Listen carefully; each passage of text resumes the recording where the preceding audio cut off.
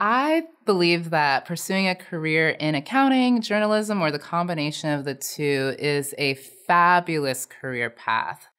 As an accountant, every company needs accountants. Whether you work for someone else or you own your own business, someone's got to know how to manage the numbers. And what better way to make sure you guarantee your success if you are the one that's managing the numbers. So, understanding accounting is a fantastic career for that reason and a lot of other reasons as well. There's a lot of information that you get to learn as an accountant, the how businesses actually work. One of my favorite quotes is from Warren Buffett, who is a well known investor, arguably the best investor of our time.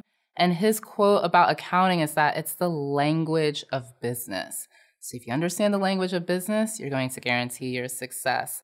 Journalism is a fantastic career as well if you've got a lot of passions. As a journalist, I'm able to explore so many topics. One day I was really fascinated by this architect in the Bay Area and her history, and I was able to explore her her background because I was able to write an article and combine that with my knowledge of economics.